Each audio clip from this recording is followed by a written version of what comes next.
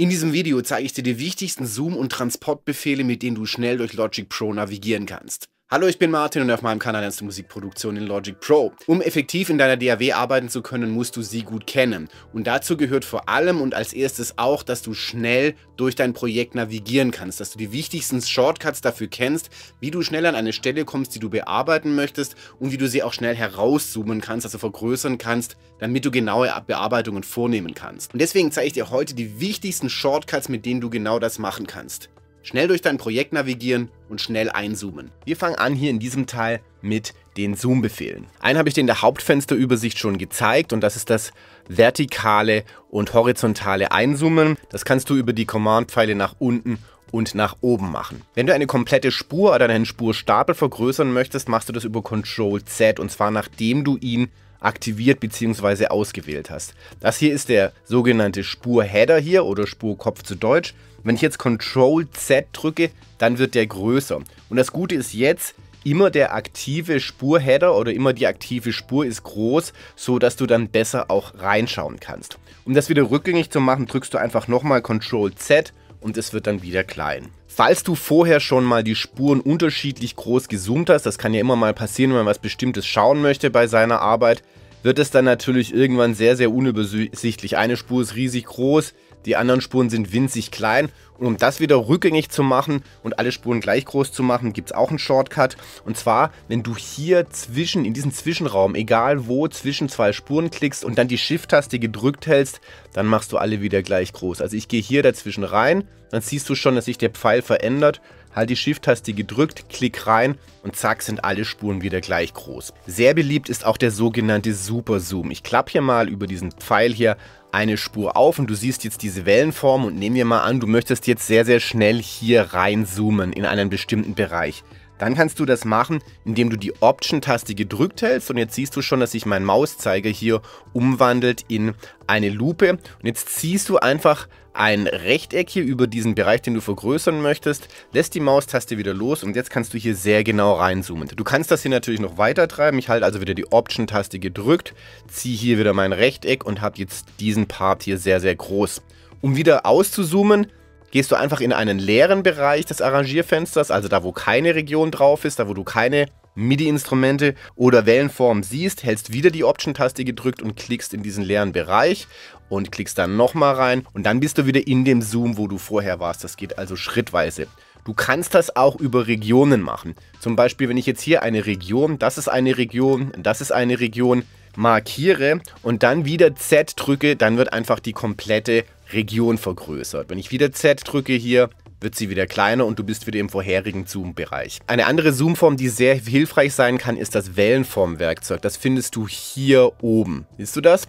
Wenn ich jetzt hier drauf klicke, dann siehst du einen Schieberegler und wenn ich jetzt hier nach oben ziehe oder nach unten ziehe, kann ich die Wellenformen größer oder kleiner machen. Wichtig ist zu wissen, dass das nichts mit dem Gain zu tun hat. Also die Spur hier wird nicht lauter, wenn ich über die Wellenform hoch, äh, die Spur größer oder kleiner ziehe, sondern es ist nur für die Übersicht. Das heißt, wenn du genau sehen möchtest, zum Beispiel, wo was anfängt oder wenn es dir einfach zu klein ist oder zu leise aufgenommen worden ist. Also mit dem Wellenformwerkzeug kannst du mehrere Spuren oder nur eine Spur übersichtlicher machen. Du machst es dadurch aber nicht lauter oder leiser. Ein Bonustipp gibt es noch zum Schluss und zwar für die stolzen Besitzer einer Magic Maus. Wenn du jetzt hier die Option-Taste gedrückt hältst und auf deiner Magic Maus nach links und rechts streichst, beziehungsweise nach oben und nach unten streichst, kannst du auch wahnsinnig schnell zoomen ohne irgendwelche Pfeiltasten drücken zu müssen. Ich persönlich zoome immer so. Ganz zum Schluss nochmal zur Wiederholung der Befehl, wenn du das Arrangierfenster so groß auszoomen möchtest, dass du wirklich alle Spuren siehst,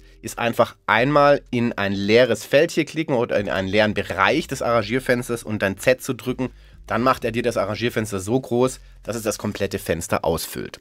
Übrigens, falls du vielleicht neu in Logic Pro bist oder erst gerade gewechselt hast von einer anderen DAW und schneller und effektiver insgesamt in Logic arbeiten möchtest, dann empfehle ich dir unbedingt meine Logic Workflow Checkliste. Da gebe ich dir nochmal 10 weitere Tipps, wie du Logic für dich individualisieren kannst, sodass du perfekt in Logic arbeiten kannst. Also Logic Workflow Checkliste unbedingt runterladen. Unten im ersten Kommentar habe ich dir das PDF angepinnt. Und jetzt geht es weiter mit den Transportbefehlen, die wichtig sind, um schnell an eine bestimmte Stelle in deinem Projekt Projekt navigieren zu können. Die Transport-Buttons habe ich dir schon bei der Hauptfensterübersicht gezeigt und zwar hier oben kannst du jeweils einen Takt nach vorne oder eben zurückspringen. Aber das ist natürlich der blanke Wahnsinn, jetzt so zu arbeiten, wenn du immer hier hoch musst, wenn du irgendwie nach vorne oder zurückspringen möchtest. Und deswegen gibt es dafür natürlich auch sehr nützliche Tastaturkurzbefehle. Um einen Takt nach vorne zu springen, nimmst du einfach den Punkt und um wieder einen Takt zurückzuspringen, nimmst du das Komma. Das ist relativ einfach sich zu merken. Acht Takte nach vorne oder rückwärts springen kannst du, wenn du zusätzlich die Shift-Taste gedrückt hältst. Hier kommst du also auch schnell vorwärts bzw. rückwärts, immer jeweils acht Takte. Ganz wichtig für den Transport und in bestimmte Regionen abzuspielen oder zu loopen ist auch das Cycle-Tool, das ich schon mal kurz angesprochen habe. Aktivieren tust du das über den Tastaturkurzbefehl C oder du klickst einfach drauf. Jetzt kannst du hier deinen Cycle-Bereich, also der Bereich, in dem geloopt wird, kannst du hier entweder ziehen. Du kannst den Cycle-Bereich aber auch direkt über eine Region legen, indem du die Region hier markierst und dann Shift und Leertaste drückst. Ich gehe in eine andere Region rein, zum Beispiel in diese hier und drücke wieder Shift und Leertaste. Und dann spielt er mir ab hier ab. Also auch so kannst du sehr schnell navigieren. Ein Werkzeug, das mir besonders gut gefällt, auch zum Abspielen, das ist das Marquee-Tool. Wir gehen mal hier in diese Region hier rein. Ich vergrößere das mal. Und jetzt schauen wir uns das Marquee-Tool an. Das Marquee-Tool ist hier, das habe ich mir als Command-Click-Werkzeug angelegt. Das erste Werkzeug hier ist also einfach mein Pfeil oder mein Zeigerwerkzeug und hier ist das Marquee-Werkzeug. Ich gehe auf dieses Marquee-Werkzeug noch später ein, aber ich kann es hier auswählen, indem ich die Command-Taste gedrückt halte.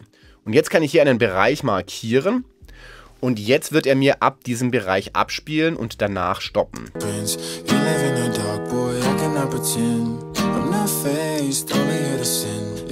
Und stopp. Ich kann auch zum Beispiel nur diesen Bereich hier auswählen und mir den anhören. Ganz zum Schluss noch, und das ist natürlich auch wichtig, wenn du etwas aufnehmen möchtest.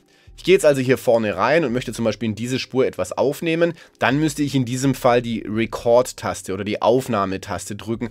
Das ist auch relativ umständlich, immer hier hochzufahren mit der Maus. Und deswegen ist die Aufnahmetaste einfach R. Anstatt also jetzt hier diesen Button zu drücken, kann ich einfach R drücken und nehme dann direkt in diese Spur auf.